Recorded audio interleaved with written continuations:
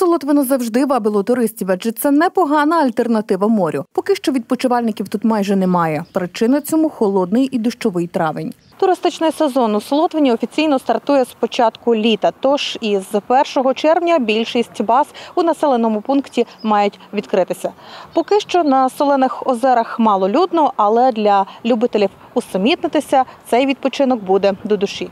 Туристичний бум на солоних озерах зазвичай всередині літа, хоча раніше у такий час третина номерів були заброньовані. А поки що багато баз відпочинку зачинені, басейни пусті. Людей ще нема, тож персонал утримувати невигідно. Ця інформація буде з 5 числа, бо ми ще не відкрилися. Хоча у деяких номери вже можна замовити, нічліг на одну особу коштує від 200 до 600 гривень. Можна його знайти і за 150, якщо компанією в один будиночок.